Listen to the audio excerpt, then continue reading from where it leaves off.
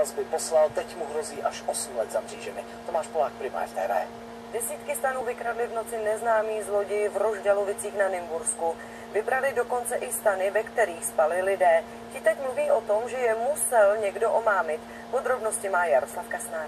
Na dnešní ráno účastníci československého potlachu jen tak nezapomenou. Z jednoho stanu po druhém se totiž ozývalo zvolání, že byl vykraden. Probudím se a vidím svůj bílý baťužek před stanem a ten stan otevřený. E, šok, protože nevíte, co se děje. Měla jsem tuhle tu ledvinku, všechny kapsy z odvíran, peněženku z odvíranou a všechny peníze pryč z peněženky. Spali jsme, otvoril si pěkný stan, přišel, zebral mi peníze a peněženku vrátil. Podobný příběh jsme dnes ve stanovém městečku slyšeli od desítek lidí. Na místo proto přijela i policie. V tento okamžik oznámení učinilo celkem 15 osob. Ke krádežím mělo dojít během spánku. Jenže okradených prý může být daleko víc. Jen všichni zatím policii krádež nenahlásili. Je tady asi 65 lidí zatím, co jsem slyšela okradených.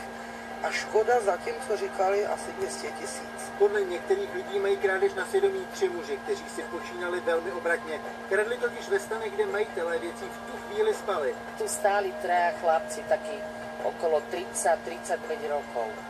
A som sa opýtala, že tak čo tu chcete chlapci? A sa otočili a mizli preč. Otvoril si cips, zasvietil mi do očí a ja hovorím, čo robíš? A zmizol. Ešte si zatiahol zip a utekol.